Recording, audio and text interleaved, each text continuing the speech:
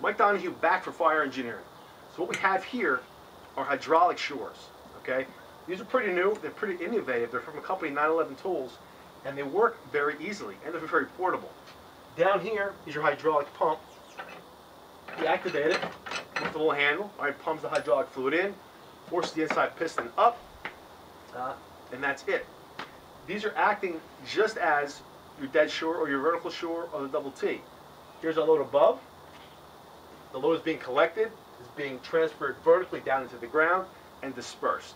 What I have here, I have two wide MVX bases on it and just two waffle heads up top. You could certainly use a rigid base on top. You could use a U-channel base to go ahead and slip either a 4x4 header in or even go up and sit right in between the, uh, the joist you're trying to support. The good thing about these is they're quick to set up, they're quick to deploy, they're very portable, and they give you a quick hit. They give you a safe haven. They'll go ahead and create your shoring system, your permanent shoring system. For example, if I need to get into this space here, I can look up top and I can see the joists are running this way. So I can take a strut here, put a strut right behind it, put a header across the top, do the same on the other side. So now that header is capturing the load from the joist above.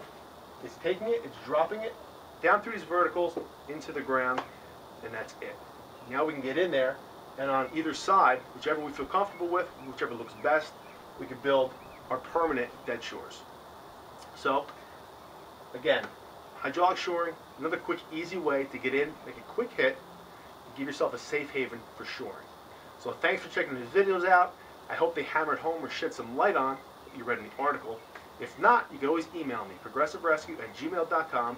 I'd be more than happy to answer any questions that you have. So until next month, stay safe, stay progressive, and remember to keep training.